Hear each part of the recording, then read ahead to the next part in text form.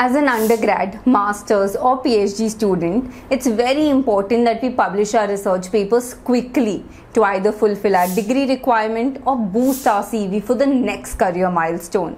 We can't afford to wait a year or two just to get the decision on our work.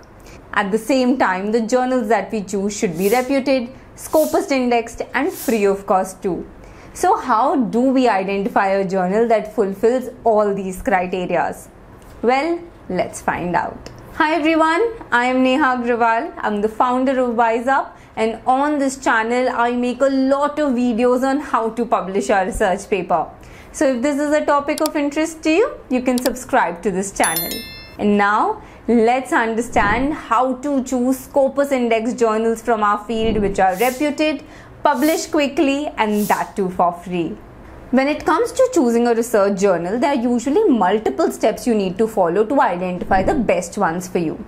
Now, the first and the easiest way to identify a journal is to go through your literature review.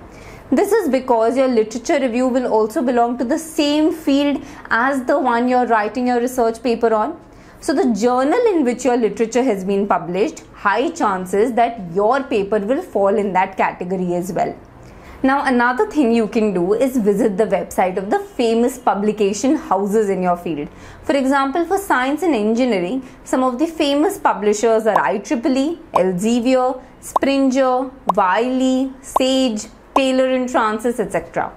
All you need to do is go to their website and find out the journal recommender tool. Then you simply need to type down your topic name or paste your entire abstract in the search box and within seconds these publication houses would recommend the best journals for your research from their portfolio of journals that they have. Now if you wish to know in detail how to choose a journal then i've linked my video on top. You can go through it.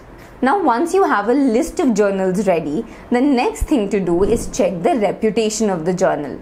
Because if the journal is not reputed and it publishes quickly and free of cost it's not going to be of any use to us so to check the reputation of the journal, we are going to find out whether it is Scopus indexed or not. Because Scopus only lists reputed and safe journals in its list. So for this purpose, what we will do is go onto the Scopus website and then type our journal name in the search box. We can also enter the ISSN number of that journal if we want, which we can get from the journal website. Now, if the name of our journal appears in the Scopus list, that means it's a reputed and safe journal and we don't have to worry about it because no fake or predatory journal name would be present in the Scopus list. Secondly, you can also look at some important metrics such as impact factor, CiteScore and percentile.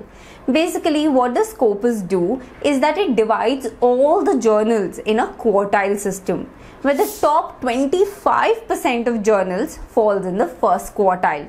25% to 50% of the journals fall in the second quartile. 50% to 75% of journals falls in the third quartile. And similarly, the last 25% of the journal falls in the fourth quartile. So if you go through the Scopus list and you see that the journal has 95 percentile, that means that your journal is better than 95% of the journals that are out there, which means it is among the top 5 percentile. So 100 minus 95, it is among the top 5 percentile of journals and therefore it falls under the first quartile. So if you actually manage to publish your research paper in journals that belong to the first quartile category, then there is nothing better than that. Similarly, you can go through other metrics as well, such as CiteScore and impact factor, which you can find on the journal website. Now, once we have confirmed the reputation of the journal, the next thing to check is the cost of publication. Now, as a rule of thumb, standard or subscription journals do not charge any money for the publication process. This is because the money for publication usually comes from the readers. And I'm sure you must have noticed is that if you go on the website of these famous publishers and you try to download a paper or read a paper, there is usually a paywall present that prevents you from getting access to the entire paper. So here the money is coming from the readers and that is why authors are not charged any fee. Now there are going to be only two cases when you need to pay money for the publication process. First is when you go for open access publication. In case of open access publication, completely opposite to that of subscription journals, the money is taken from the authors for the publication process instead of the readers. The research papers are absolutely free of cost for the readers to read. And so in such a case, you will have to pay money for the publication process but that does not mean that open access publication is not good it is not reputed it is fake. Please don't be under these misconceptions. In fact if you want to get more clarity on what is the difference between subscription and open access journals then i've made a detailed video on it which you can check out. Now the second case where a journal would ask for money if it is fake or predatory because that is what they do right? They try to take money from you and then they publish the paper. But this we are already ruling out in the first step. Because if a journal is reputed they are not going to be fake or predatory so if a journal we've already checked is scopus indexed we know that it is reputed and it's not fake or predatory so it will not ask us for money now, what a lot of journals are doing nowadays is they are going for a hybrid model where they also give you subscription based publication and they also have open access publication available. Now, it is up to you to decide whether you want to go for the subscription model or you want to go for the open access model because each have their own advantages and disadvantages. So, if you go for the open access model, then it's going to charge you money. Otherwise, if you go for the subscription one, you don't have to pay any fees. Okay, so I hope this part about the cost of publication is very clear to you. So basically now the only thing that is left to find out is the publication time and this is where it can get a bit tricky. Now some journals they have become extremely transparent in their publication process. For example, if I go to the Elsevier website and search for the journal, Journal of Colloid and Interface Science, immediately I can get all the details of the publication time here. For example, if you see, very clearly they've written that they need 4 days for the first decision, which means that in 4 days they will let you know whether your research paper has been straight away rejected or is it going to move further in the peer review process. After that, they have told us is that for the first feedback, they need 22 days, and the final duration of publication is 74 days from submission to acceptance, which means in less than three months of you submitting your research paper, you will know whether your paper is going to be published or not, which is pretty, pretty good. Similarly, the publication house Springer also gives you some information about the time taken to give the initial first decision.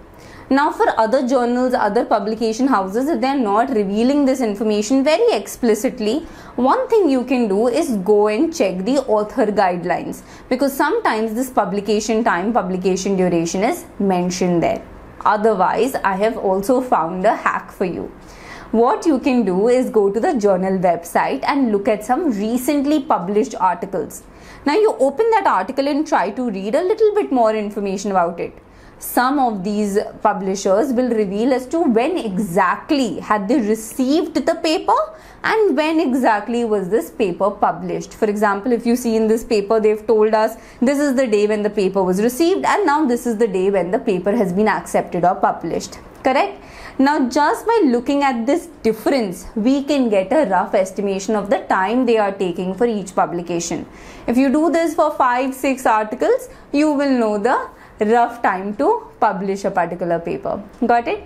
So in this way, you can also find out the time taken to publish a research paper in a journal. So guys, in this way, you can ensure that the journals you are choosing are reputed, free of cost and published within your required timeline. Now, if you wish to learn in detail how to write a research paper, what are the different AI tools you can use to make this process simpler and go into detail of the publication process, then you can join me for my course on A to Z of research paper writing. To know more, the link is in the description and in the pinned comment. And now, thank you so much for watching this video and I wish you have a fantastic career ahead.